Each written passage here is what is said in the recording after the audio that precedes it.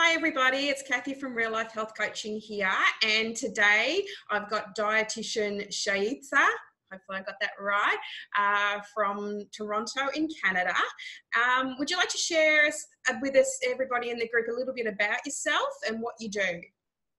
Absolutely. So, yes, like you said, my name is Shaista Zahiruddin. I am a registered dietitian. Um, I have uh, I am located in the Greater Toronto area in Canada, and I have a private clinic which is called Modest Nutrition. So uh, my philosophy is philosophy is actually that uh, I believe in empowering women so that they can nourish themselves and then nurture their families. Um, so I like my focus is in women's health mostly. So I do see people who do have PCOS who are trying or struggling to conceive.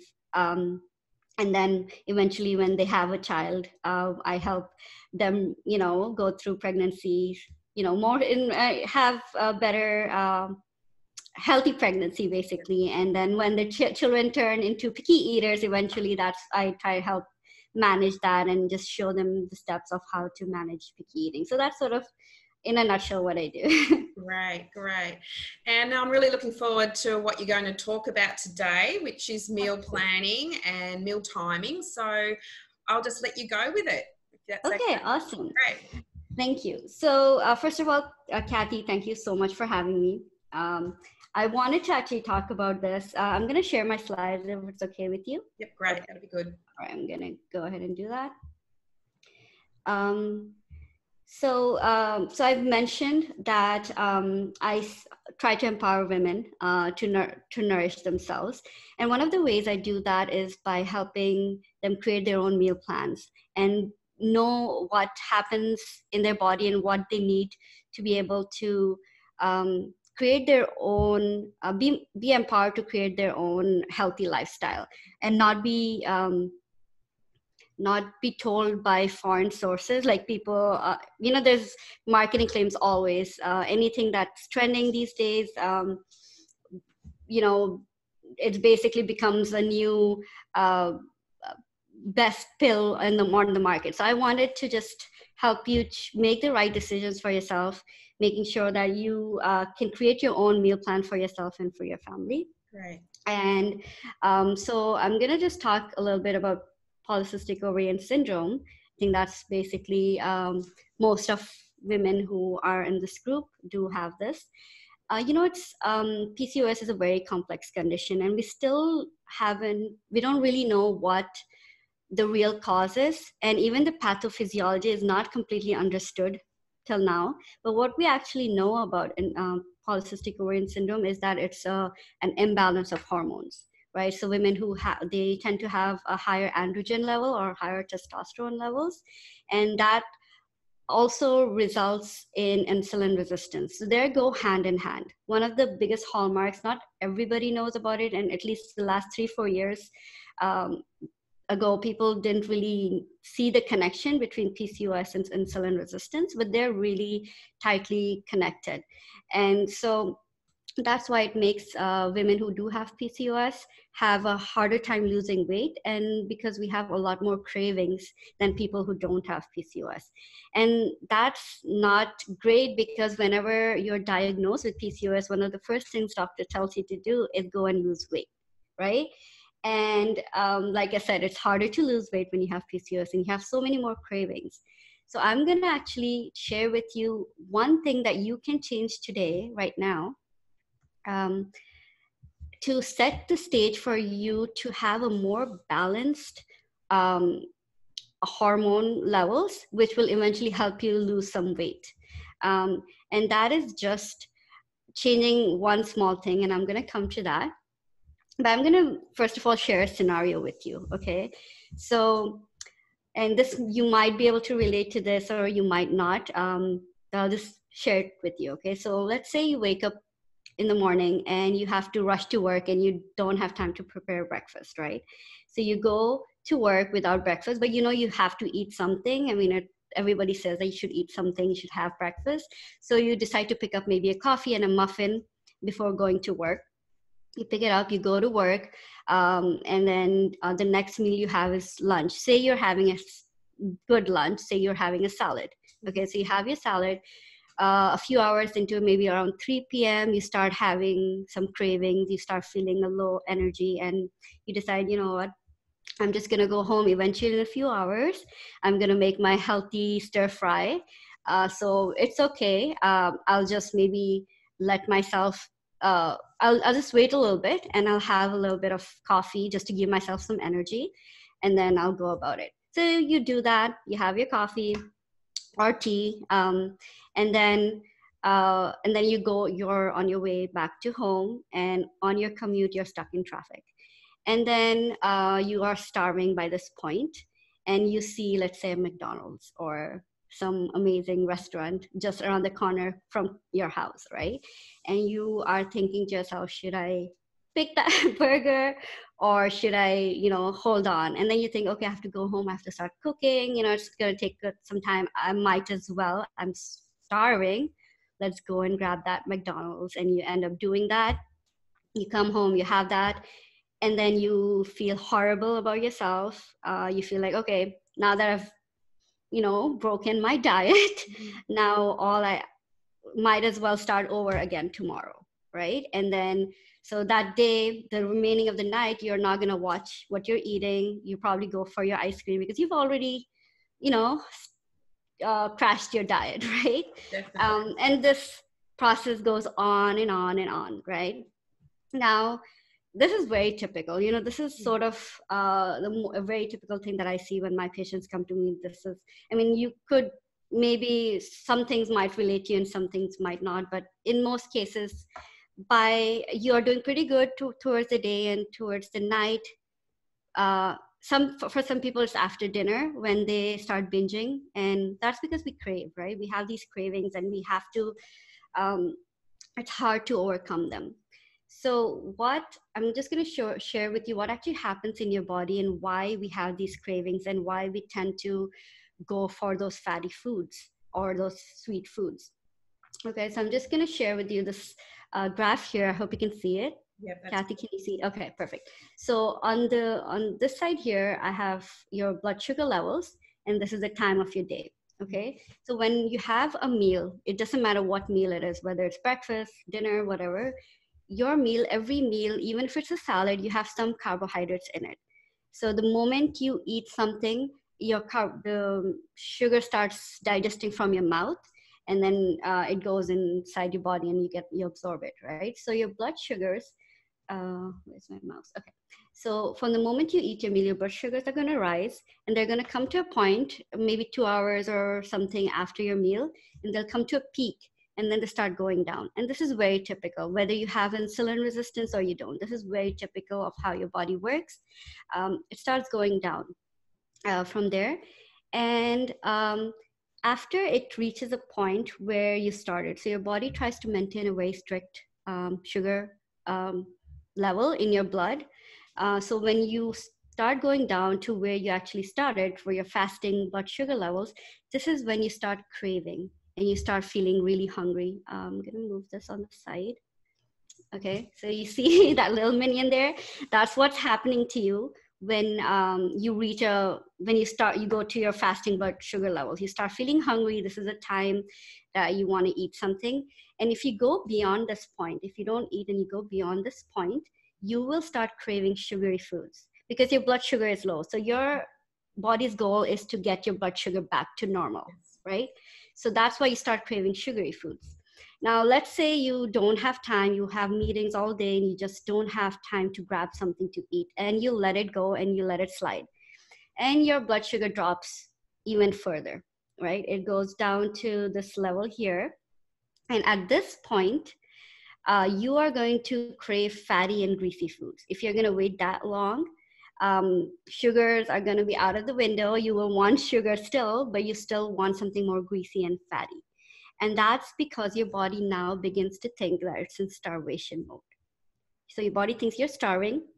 Uh, I have to do anything I can to help myself survive.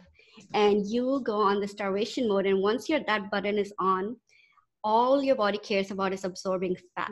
Okay. So let's say at this point you decide to have your meal okay let's say it's healthy. Let's say you are having a salad.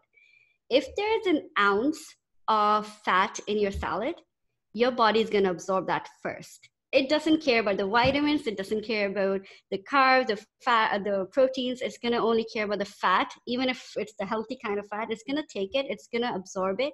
It's not going to use it. It's going to actually put it in your fat stores because it's going to think that this is time i'm you know i have to save myself right um, everything else comes later uh, it's going to absorb the proteins and everything else later but the fat is the first priority and because our brain functions on glucose and fuel, um, and say you're not eating enough carbs, your body is not going to take the energy from fats because that's going for storage. It's going to save the glucose because it knows that it will need it. So it's going to take, um, break down your muscles and give you energy for fuel. And that's where you're losing muscle mass. So you're taking protein from your muscles because that's where your protein is stored. Yeah. so we take that we break it down give ourselves energy. But that's not a good thing because we are losing muscle mass. And muscle is the one that improves our metabolism. So we have a better metabolism when we have more lean muscle mass. Mm. and we're also burning fat um, normally when we have enough muscles so if you're losing muscles that's why people who go on low carb diets or keto diet or other kinds of diets, they lose um, the weight that they lost is really muscle mass. It's not fat. It's almost never fat because fat is always stored for later. so we are losing muscle mass, and because uh, we lose that, we look thinner too because you know our muscles are a little bulkier as well, right? So um, that's not a good thing. So first of all, um, you want to shift your body's way of uh, doing this and actually eventually start uh, using up the fat and actually burning up the fat. So the plan is instead of waiting till you're super hungry, um, even at this point, it's not a good thing. It's, better to actually start eating um, a few hour, a few minutes, or a few hours before you actually start starving, right?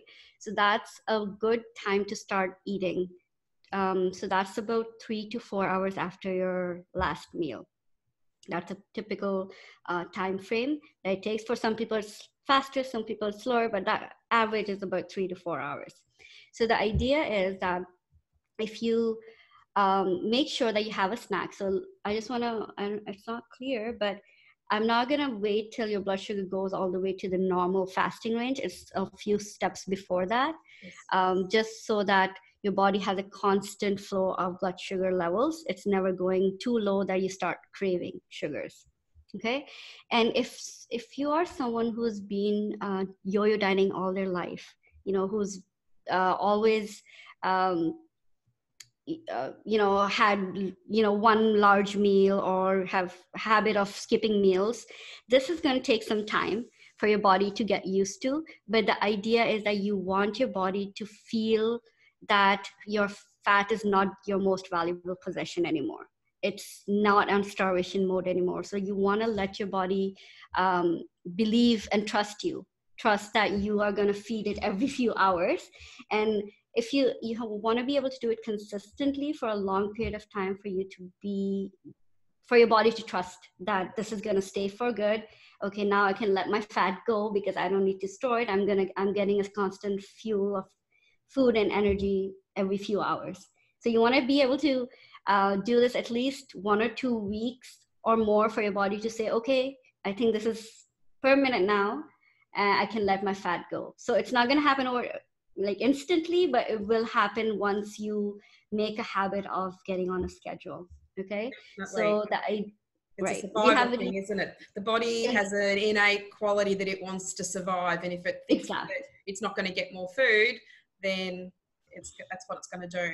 Absolutely. And that's actually how you are managing your blood sugar levels too because first of all uh, when you're constantly having a, con- a, good flow of blood sugar levels like consistently um, you'll have a better insulin response. That means you have a better chance of fixing your insulin resistance over time. And uh, because you are not on um, starvation mode, your body has less stress. You know, when you're on starvation mode, survival mode, you are in serious stress levels. And women who have PCOS have more anxiety and depression uh, than people who don't. So if you have less stress, you have less inflammation. And inflammation is also a trigger for um, uh, for insulin resistance. So you're fixing the inflammation as well by giving your body a break, giving yourself a constant, and you know, staying away from hard diets. Mm. You know, most diets are really let's just not get into them but you know they're not good for health in many if because you're losing out big chunks of um, food groups that your body needs right so and then you have less uh, you have better control on your blood hormone levels once your inflammation is in control and once your insulin and blood sugars are in control so that's basically my goal for you um, at this point it doesn't matter what you're eating as long as you're making sure that you get yourself onto a schedule making sure you eat every three hours. So this is an example maybe have breakfast at 7 a.m and have a snack maybe at 10 a.m and then um, after lunch uh, 3 p.m is usually a time where i've noticed a lot of people have a very have a crash. So that's a good time to have a planned snack and then have you know dinner. And if you are someone who sleeps like after 10 or after 11 then make sure you have another snack before going to bed as well. Okay? So let me just quickly talk about the types of foods uh, and then i'll uh, and this. So obviously i think we all know we don't we try not to eat simple carbohydrates, so nothing that have uh, free sugars in it, so nothing like sodas or even coffee with sugar. Uh, if you when you have uh, something with simple sugars, your blood sugar is going to rise really high, but then it's going to drop as fast as it rises, right? So as opposed to the way I showed you before, your blood sugar rises slower, but when you have high carbs, it goes up and then it falls down. So you feel hungry sooner Yes. So if you had like yeah, just sugar and like coffee with sugar, and you didn't have anything, you'll feel hungry about an hour just right after your meal. And if you let it go, you'll start feeling a little tired and dizzy. Yeah, um, and that's yeah. Yeah. So you have a deeper drop and you have a faster drop in blood sugar. So the way to make sure that doesn't happen is always make sure you have at least a high fiber um, food when you're having something. So if it's a carb, then make sure it's high fiber. It needs to have at least three grams of fiber in it, whether it's a snack or a meal, a minimum of three grams. Or you want to combine foods. So I always say combine a few food groups. So have a little bit of carb, a little bit of fat and protein together. And that slows down the release of sugars. And that's what the glycemic index is. Yes. Uh, so it show, slows down the uh, flow of glucose. So an example of a good snack would be something like having a milk uh, and a fruit or a fruit and nuts. I usually say don't have just a fruit. Fruits are great, mm. but you want to balance it with something other than just carbs. So you want to have um, some nuts with your fruit or dairy or any other sources of um, any other food group at least. So not just one fruit. Okay. And then when you have your meals, make sure that you have a variety, making sure you have vegetables and at least two more food groups. So have some starch or grain. Um, low carb isn't always the best choice as long as you control the portions. So having a quarter of your plate to be starches and then your meats and then your vegetables. And that's basically how you can regulate your blood sugar levels. and that's how you eventually balance hormones and lose weight. So that's my in a nutshell what you can do today. Do you have any questions, Cathy? Um, so one question would be, so like I, I love your uh, time meals uh, yeah. timing that you've put up. It's something that I try to um, adhere to, but like you said, I can we can all relate to those days where everything goes out the window. So you recommend based on those times, we're basically eating in the twelve hours and potentially not eating for the 12 hours, which you know breakfast breaking the fast is that something you would recommend generally that you do try to not eat too late unless unless you like you said that you're needing something? Exactly yes. So definitely you want to try to have breakfast within the hour of waking up is ideal to get your body going and give you that energy to for the rest of the day yes.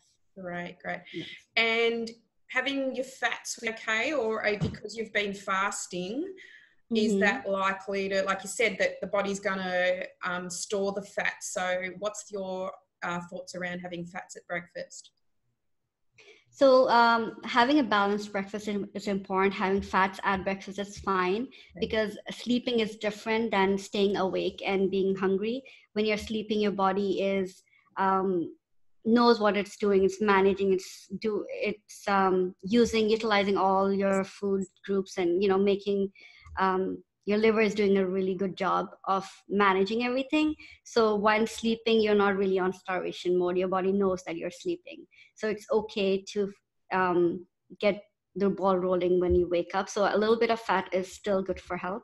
Uh, just right. choose the right kinds and just the portion should be smaller. Yes, yeah, and uh, so some of the thing I'm seeing with some of the the women is that they're very much they think if they eat less calories they'll lose weight.